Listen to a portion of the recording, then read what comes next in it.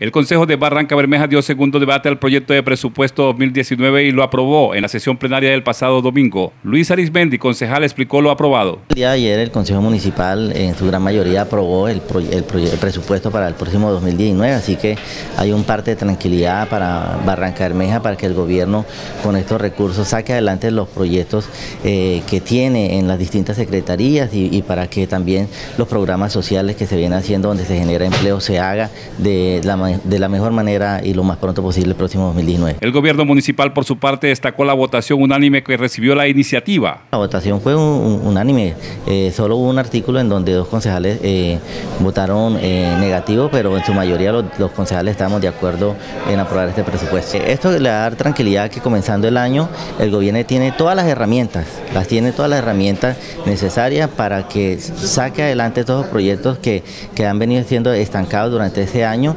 y no haya más, más, más talanqueras, más inconvenientes para que la inversión social se haga en la ciudad. Ahora el acuerdo aprobado pasará a sanción del alcalde Fernando Andrade Niño.